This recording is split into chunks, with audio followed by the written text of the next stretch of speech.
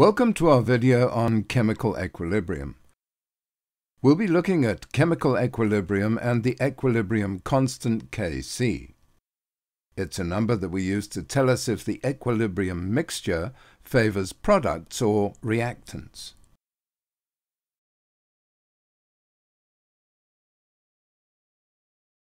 Let's first consider the general case before looking at examples and calculations to find the equilibrium constant.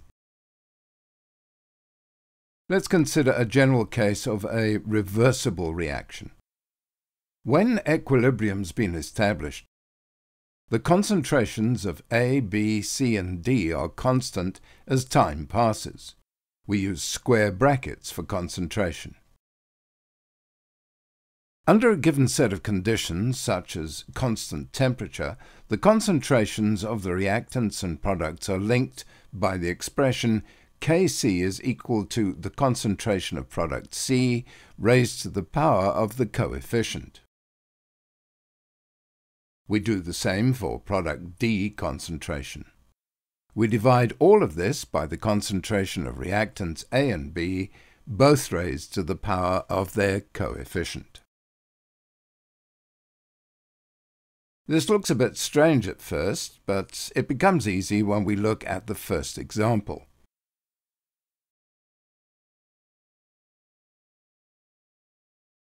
For equilibrium concentration expression, we only include substances whose concentration can be changed. Gas and aqueous solutions of substances are included, and liquids and solids are not included in the expression.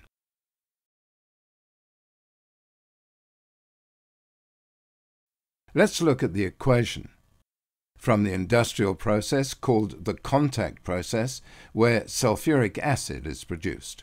All the substances are gaseous, so they'll all be part of the Kc expression. To write the Kc expression, we start with 1. Is the equation balanced? 2. The products raised to the power by the number in front of the chemical substance. 3. The reactants in the denominator raised to the power by the number in front of the chemical substance. Note, if there's more than one product, the substances are multiplied by each other. Therefore, Kc is equal to the concentration of sulfur trioxide squared divided by the concentration of sulfur dioxide squared multiplied by the concentration of oxygen.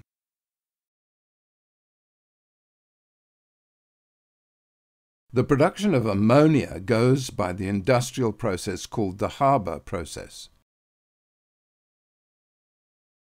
This is given by the equation here.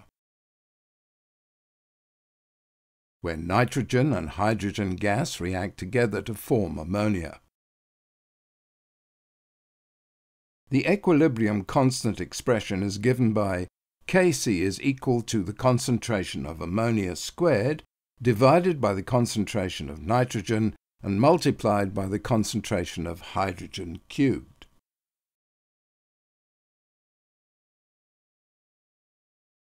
In the next example, we have a redox reaction with a bit of a difference. Copper solid metal reacts with silver ions. The products here are copper 2 plus ions and silver metal.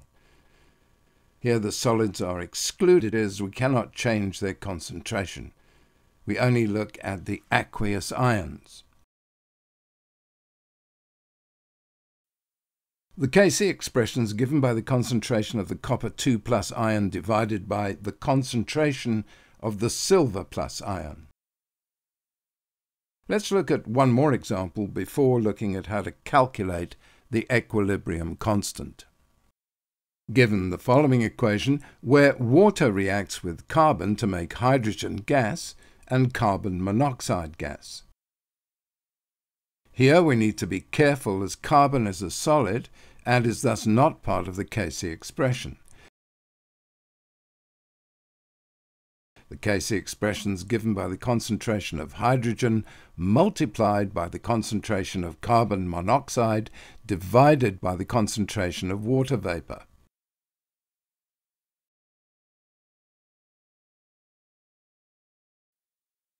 In order to calculate the equilibrium constant, we need to find the concentrations of the reactants and products at equilibrium.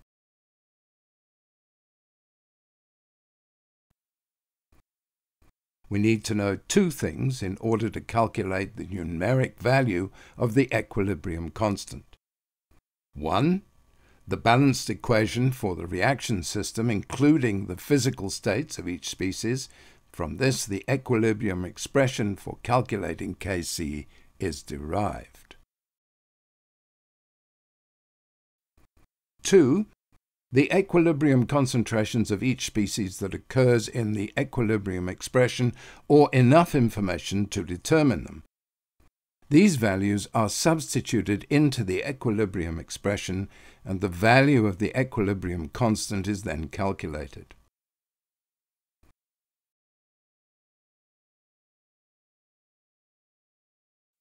The units of Kc depend on the reactant and the products involved and are not constant, and in saying this, we leave the unit out. The only factor that influences the equilibrium constant is temperature. This is super important.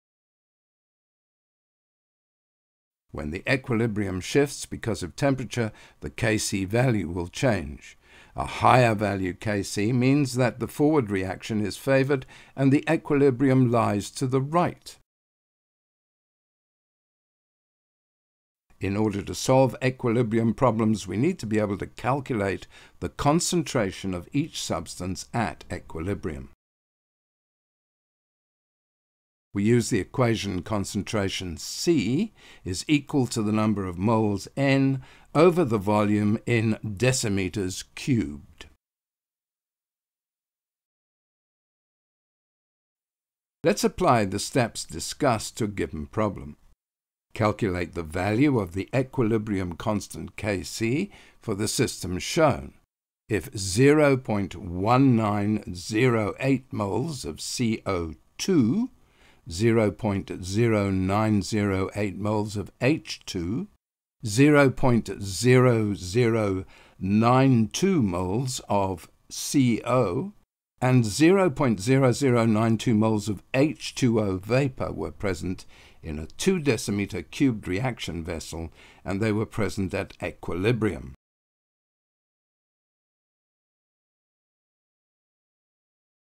Extracting the information given, we need to show what we have, including step one, write the equilibrium expression for the reaction system, products on top and reactants on the bottom. Step 2. Since Kc is being determined, check to see if the equilibrium amounts are expressed in mole per decimeter cubed. In this example, they're not. Conversion of each, therefore, is required. Using the equation C is equal to N over V, we can calculate the concentrations at equilibrium. Dividing the hydrogen by 2 gives 0.0454 mole per decimeters cubed. Carbon monoxide comes to 0.0046 and water to 0.0046 moles per decimeter cubed.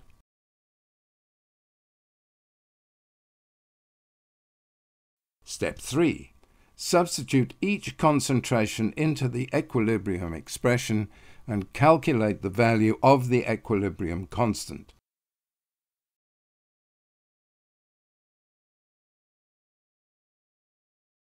If the equilibrium mole concentrations are not given, we need to calculate the moles at equilibrium and then calculate the concentration at equilibrium. Let's look at another example.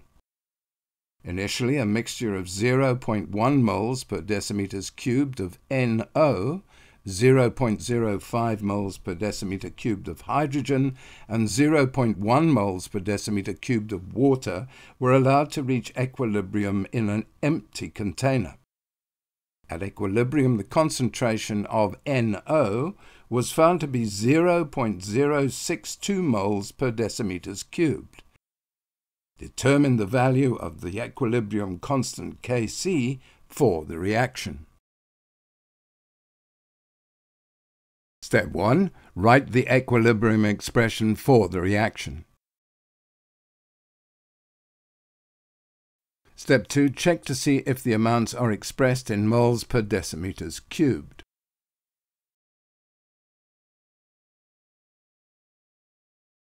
In this case, we need to calculate the concentrations at equilibrium.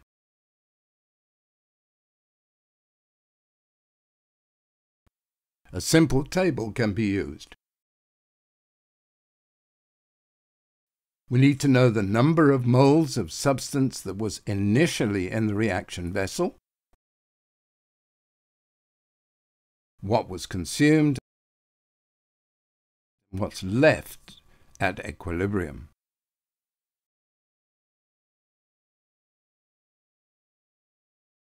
The table is sometimes referred to as ICE, Initial Consumed Equilibrium,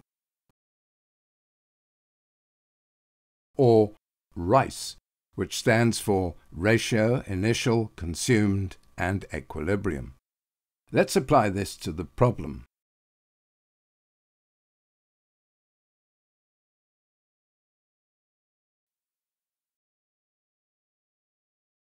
Step 3. Create a table that shows the initial concentration, the change in concentration, and the equilibrium concentration for each species in the reaction.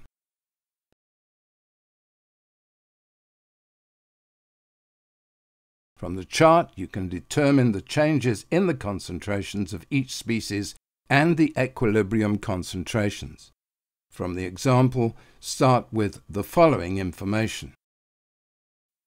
The change in concentration of the NO was negative 0.038 moles per decimeter cubed. Now, because all the reactions take place in the same container, the other chemicals will change in the same concentration ratio. The negative sign indicates a decreasing concentration, not a negative concentration. The changes in the other species must agree with the stoichiometry dictated by the balance equation. The hydrogen will also change by minus 0,038 moles per decimeter cubed, while the nitrogen will increase by plus 0,019 moles per decimeter cubed, and the water will increase by plus 0,38 moles per decimeters cubed. From these changes we can complete the chart to find the equilibrium concentrations for each species.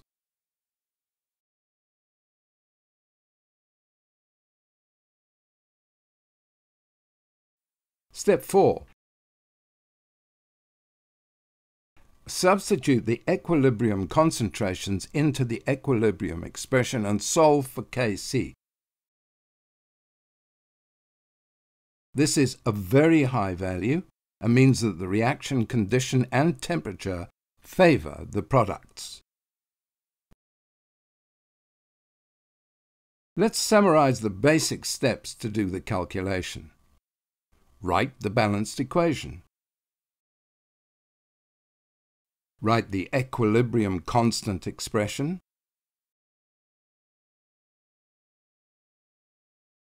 Write the initial concentrations of each species.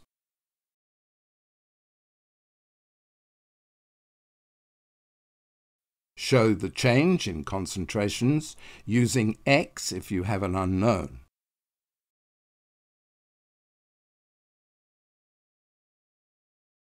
Solve for x. Calculate the equilibrium concentrations.